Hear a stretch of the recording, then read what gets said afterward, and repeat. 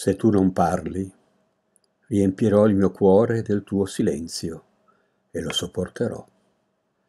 Resterò qui, fermo ad aspettare, come la notte nella sua veglia stellata, con il capo chino a terra, paziente.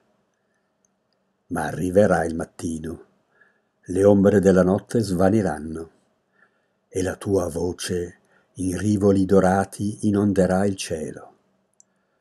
Allora le tue parole nel canto prenderanno ali da tutti i miei nidi di uccelli e le tue melodie spunteranno come fiori su tutti gli alberi della mia foresta.